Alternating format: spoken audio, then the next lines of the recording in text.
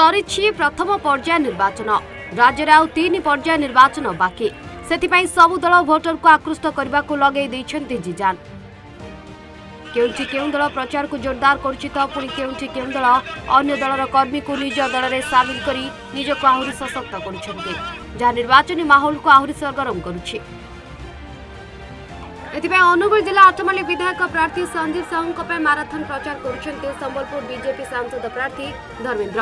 হোন্ডপুর বিশাল road show হাজার হাজার সমর্থক নেই দুই পদ্মদলীয় নেতা বাহারিলে বইন্টারে আয়োজন হয়েছিল বিজয় সংকল্প সমাবেশ শোভাযাত্রা পঞ্চি সমাবেশের আঠবলিক বিজেপি বড় শক্তি প্রদর্শন করে ভোট ভিক্ষা করেছে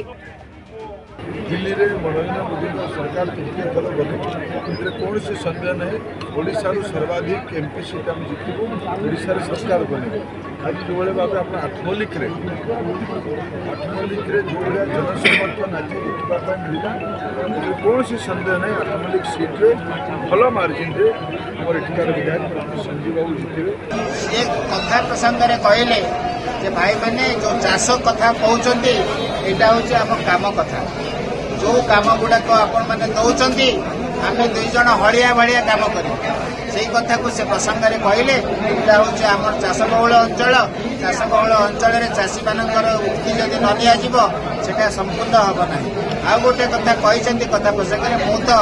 ପନ୍ଦର ତାରିଖ ଦିନ ମାନ୍ୟବର ମୁଖ୍ୟମନ୍ତ୍ରୀ ଆସିବେ ସେଠି ଆମର ଅଞ୍ଚଳର ଯାହା ଦାବି ସବୁ ହେଇଛି ସେ ଦାବିକୁ ପ୍ରଭାବିତ